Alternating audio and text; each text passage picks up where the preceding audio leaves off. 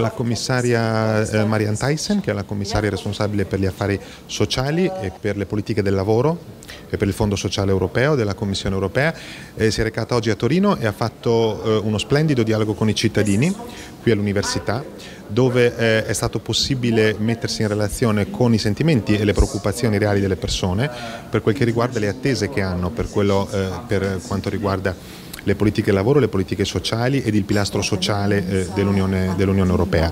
La Commissione Europea sta investendo moltissimo nei dialoghi con i cittadini, questo ora è il 242esimo dialogo che il Presidente Juncker e i commissari come Marianne Thyssen stanno facendo eh, eh, eh, in giro per l'Europa, non solo nelle capitali ma qui a Torino come in, altre, eh, in altri paesi, in altre, in altre, città, per mettersi in relazione proprio con la temperatura delle, eh, dei territori e le aspettative delle persone al di là dei rapporti istituzionali ma parlando direttamente con le persone.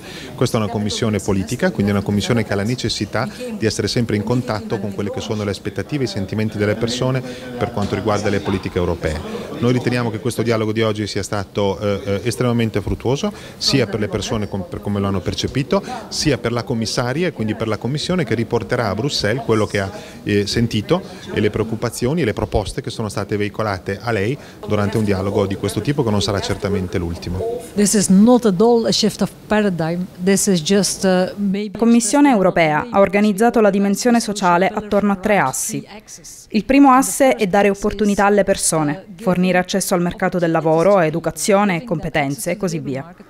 Si tratta di investire nelle persone per dare loro le migliori possibilità, per afferrare le opportunità presenti.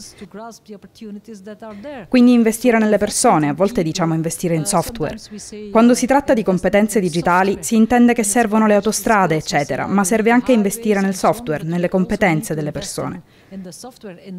Anche quando prendiamo in considerazione il terzo asse della dimensione sociale, quello che riguarda la protezione sociale, vediamo che serve protezione sociale in chiave moderna, in termini di mezzi forniti quando le persone ne hanno bisogno.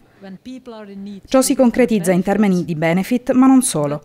Occorre investire nelle persone, rafforzarle, dar loro nuove possibilità, accompagnarle con i giusti servizi in modo che possano rimettersi in gioco e capire se sono ancora nell'età lavorativa, se sono capaci di lavorare e in grado di trovare un nuovo lavoro.